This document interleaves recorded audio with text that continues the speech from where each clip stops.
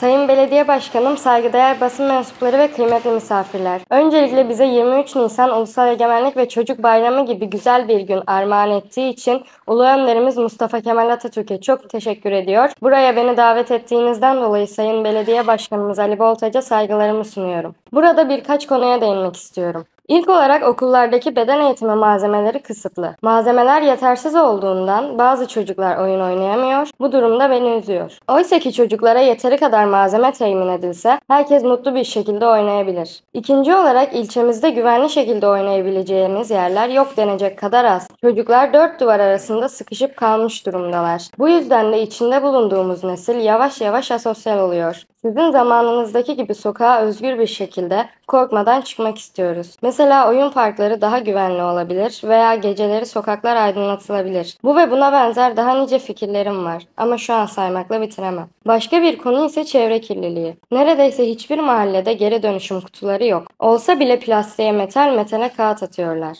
Tabii çevreye ne kadar zarar verdiklerinin farkında değiller. İnsanlar bu konu hakkında daha çok bilinçlendirilmeli, gerekirse afişlerde ve pankartlarda çevre kirliliğinin önemi hakkında bilgi verilmelidir. Son değineceğim konu ise çocukların sanatsal aktivitelerinin çok kısıtlı olması. Örneğin resim kursları, çocuk tiyatroları, çocuk koraları ve benzeri kurumlar açılmalıdır. Gereğinin yapılmasını rica eder, saygılarımı sunarım. Teşekkürler.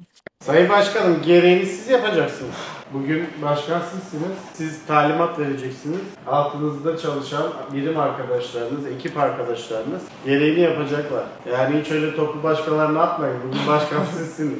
İnşallah tabii esprisi bir yana biz daha yaşanabilir bir Tarsus için, memleketimize, milletimize faydalı bir evlat olmak için, Ulu Önder Mustafa Kemal Atatürk'ün dediği gibi muasır medeniyetler seviyesine çıkmak için elimizden geleni yapacağız. Bu anlamda gençlerimizin de bize bu anlamda katacağı mutlaka değerler vardır. İlerleyen süreçlerde hem çocuk meclisi, hem genç meclisi, hem kadın meclisi çatısı altında böyle meclislerimizi kuracağız ve sizlerin orada yapmış olduğu telkinlere veyahut da bize önerilerinizi dikkate alacağız ve biz bu anlamda Tarsus'u sizler için daha güvenilir, daha mutlu, daha sanatsal faaliyetlerinin bol olduğu bir Tarsus yaratacağız. Bundan emin olabilirsiniz Sayın Başkanım. Biz de elimizden geldiğince sizler için gecemizi gündüzümüze katıyoruz, çalışıyoruz. Hayallerinizden vazgeçmeyin. Hayaller çok önemlidir. Hayal kurmaktan asla vazgeçmeyin. Çünkü hayal kurdukça hayalinize ulaşmak için elinizden geleni yaparsınız. Benim hayalim belediye başkanı olmakta. Ben hayalime ulaştım.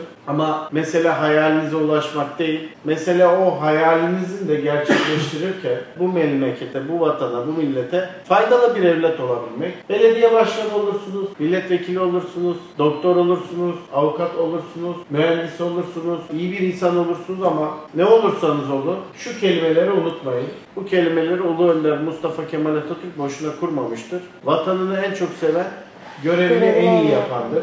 Dolayısıyla hangi meslek grubunu seçerseniz seçin, hangi işi yaparsanız yapın, görevinizi en iyi şekilde yapın. O zaman bu memlekete olan borcunuzu zaten ödemiş oluyorsunuz. İyi ki varsınız. Sizleri seviyorum. Elimizden geldiğince sizler için güzel bir gelecek sunacağız. E sizleri böyle güzel yetiştiren ailelerinize de bir çift laf söylemek lazım. Onlar da böyle Ulu Önder Mustafa Kemal Atatürk'ün ışığında, onun izinde böyle aydınlık gençler yetiştirdiği için bir teşekkürü de onlar hak ediyor.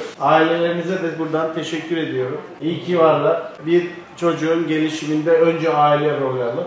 Sonra hocaları, öğretmenleri rol alır. Dolayısıyla Allah sizi iyi bir aileyle zaten buluşturmuş. İyi de öğretmenlerle buluşturur. Bu memlekete güzel bir iz bırakırsınız diye umut ediyorum. Teşekkürler.